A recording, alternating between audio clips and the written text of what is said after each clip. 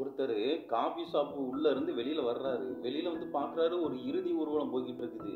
அதை பார்த்தோன்னே அவருக்கு ஒரே ஆச்சரியமாகி போச்சு. என்னடா இப்படி போகிறாங்க அப்படின்னு சொல்லிட்டு. பார்த்தீங்கன்னா முதல்ல ஒரு சவுப்பட்டி போய்கிட்டு இருக்கு. ரெண்டாவது ஒரு சவுப்பட்டி போகுது. மூணாவது வந்து ஒருத்தன் ஒரு நாயை பிடிச்சி கூப்பிட்டு போயிட்டே இருக்கான்.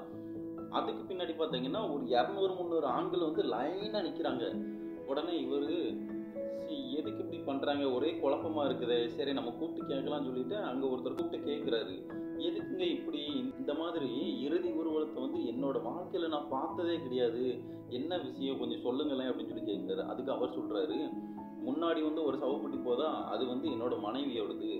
வீட்டில் ஒரு நாய் வளர்த்தேன் அவளை வந்து அந்த நாய் கடிச்சிருச்சு அதனால அவள் செத்து போயிட்டா அப்படிங்கிற மாதிரி சொல்கிறாரு அப்போ பின்னாடி வர்றது அது எங்கள் மாமியாரோடது. என் மனைவியை காப்பாற்றணும்னு சொல்லிட்டு அவங்க போனாங்களா? அவங்களையும் பிடிச்சி கடிச்சிருச்சு.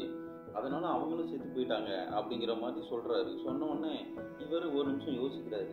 யோசிச்சுட்டு ஏங்க அந்த நாயை வந்து ஒரு ஒரு வாரம் எனக்கு கொடுக்க முடியுமா அப்படின்னு சொல்லி கேட்குறாரு.